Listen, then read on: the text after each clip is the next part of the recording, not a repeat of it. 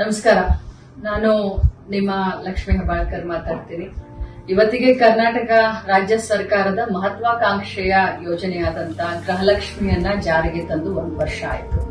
ಈ ಸಂದರ್ಭದಲ್ಲಿ ಕುಟುಂಬದ ಎಲ್ಲ ಯಜಮಾನಿಗಳಿಗೆ, ನನ್ನ ಗೃಹಲಕ್ಷ್ಮಿಗಳಿಗೆ ನಾನು ಹಾರ್ದಿಕ ಹಾರ್ದಿಕ ಶುಭಾಶಯಗಳನ್ನ ಮತ್ತು ಅಭಿನಂದನೆಯನ್ನು ಸಲ್ಲಿಸ್ತೀನಿ. ಇಲ್ಲಿಯವರೆಗೆ ಗೃಹಲಕ್ಷ್ಮಿಯು ತಮ್ಮ ಜೀವನದಲ್ಲಿ ಏನೆಲ್ಲ ಬದಲಾವಣೆಯನ್ನ ಈ ಒಂದು ವರ್ಷದಲ್ಲಿ ತಂದಿದೆ, ಈ ಬದಲಾವಣೆಯನ್ನ ಬನ್ನಿ ನಮ್ಮೊಂದಿಗೆ ಹಂಚ್ಕೊಳ್ಳಿ. ರೀಲ್ಸ್ ಮಾಡುವುದ್ರ ಮುಖಾಂತರ ಯೂಟ್ಯೂಬ್ನಲ್ಲಿ ಹಂಚ್ಕೊಳ್ಳಿ. ಯಾರು ಜಾಸ್ತಿ ರೀಲ್ಸ್ ಓಡುತ್ತೆ, ವ್ಯೂಸ್ ಸಿಕ್ಕುತ್ತೋ ಅಂತ ಕುಟುಂಬಕ್ಕೆ, ಅಂತ ಯಜಮಾನಿಗೆ, ಅಂತ ಗೃಹಲಕ್ಷ್ಮಿಗೆ, ನಿಮ್ಮ ಲಕ್ಷ್ಮಿಯ ಬಾಳ್ಕರ್ ಕಡೆಯಿಂದ ಒಂದು ಬಹುಮಾನ ಒಂದು ತಿಂಗಳು, ಅಂದ್ರೆ ಸೆಪ್ಟೆಂಬರ್ ಮೂವತ್ತನೇ ತಾರೀಕಿನವರೆಗೂ ನಿಮ್ಮ ರೀಲ್ಸ್ ಗಳನ್ನ ಯೂಟ್ಯೂಬ್ಗಳಲ್ಲಿ ಫೇಸ್ಬುಕ್ನಲ್ಲಿ, ಅಥವಾ ಇನ್ಸ್ಟಾಗ್ರಾಮ್ನಲ್ಲಿ ಹಂಚ್ಕೊಳ್ಳಿ. ಜಾಸ್ತಿ ವ್ಯೂ ಸಿಕ್ಕಂತ ರೀಲ್ಸ್ ಮಾಡಿದಂತವ್ರಿಗೆ ನನ್ನ ಕಡೆಯಿಂದ ವೈಯಕ್ತಿಕವಾಗಿ ಒಂದು ಬಹುಮಾನವನ್ನ ಕೊಡ್ತೀನಿ.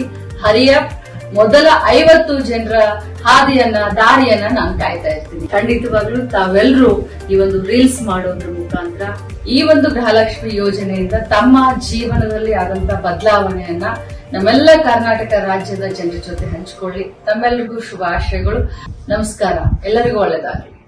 ನಮಸ್ಕಾರ. ನಾನು ನಿಮ್ಮ ಲಕ್ಷ್ಮೀ ಹೆಬ್ಬಾಳ್ಕರ್ ಮಾತಾಡ್ತೀನಿ. ಇವತ್ತಿಗೆ ಕರ್ನಾಟಕ ರಾಜ್ಯ ಸರ್ಕಾರದ ಮಹತ್ವಾಕಾಂಕ್ಷೆಯ ಯೋಜನೆಯಾದಂತ ಗೃಹಲಕ್ಷ್ಮಿಯನ್ನ ಜಾರಿಗೆ ತಂದು ಒಂದು ವರ್ಷ ಆಯಿತು. ಈ ಸಂದರ್ಭದಲ್ಲಿ ಕುಟುಂಬದ ಎಲ್ಲ ಯಜಮಾನಿಗಳಿಗೆ, ನನ್ನ ಗೃಹಲಕ್ಷ್ಮಿಗಳಿಗೆ ನಾನು ಹಾರ್ದಿಕ ಹಾರ್ದಿಕ ಶುಭಾಶಯಗಳನ್ನ ಮತ್ತು ಅಭಿನಂದನೆಯನ್ನು ಸಲ್ಲಿಸ್ತೀನಿ. ಇಲ್ಲಿಯವರೆಗೆ ಗೃಹಲಕ್ಷ್ಮಿಯು ತಮ್ಮ ಜೀವನದಲ್ಲಿ ಏನೆಲ್ಲ ಬದಲಾವಣೆಯನ್ನ ಈ ಒಂದು ವರ್ಷದಲ್ಲಿ ತಂದಿದೆ, ಈ ಬದಲಾವಣೆಯನ್ನ ಬನ್ನಿ ನಮ್ಮೊಂದಿಗೆ ಹಂಚ್ಕೊಳ್ಳಿ. ರೀಲ್ಸ್ ಮಾಡುವುದ್ರ ಮುಖಾಂತರ ಯೂಟ್ಯೂಬ್ನಲ್ಲಿ ಹಂಚ್ಕೊಳ್ಳಿ.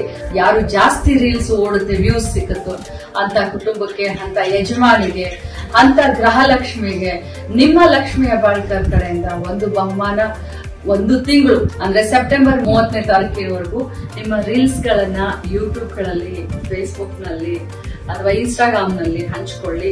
ಜಾಸ್ತಿ ವ್ಯೂ ಸಿಕ್ಕಂತ ರೀಲ್ಸ್ ಮಾಡಿದಂತವ್ರಿಗೆ ನನ್ನ ಕಡೆಯಿಂದ ವೈಯಕ್ತಿಕವಾಗಿ ಒಂದು ಬಹುಮಾನವನ್ನ ಕೊಡ್ತೀನಿ.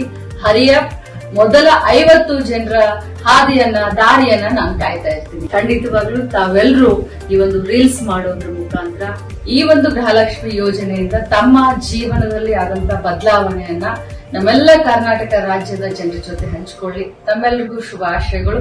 ನಮಸ್ಕಾರ. ಎಲ್ಲರಿಗೂ ಒಳ್ಳೆದಾಗಲಿ.